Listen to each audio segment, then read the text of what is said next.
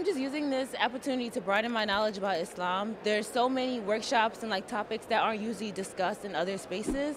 So yeah, um, kind of like what I said before. Like I'm being able to be a part of discussions that like I haven't been able to talk about elsewhere. Um, broadening my knowledge. Uh, there's so many great people coming in here, and um, just I don't know. There's just so much exposure. I've met so many people.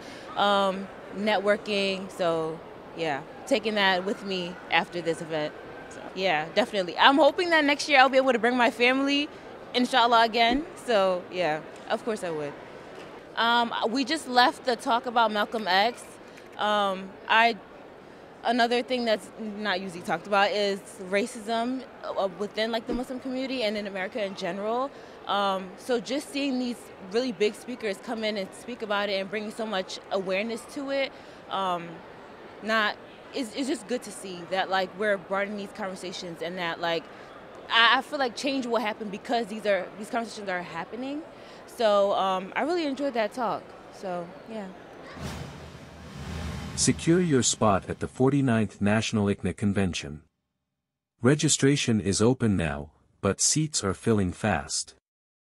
Head to our website and click Register today. Bring your family, friends, and together, let's build a future rooted in unshakable faith.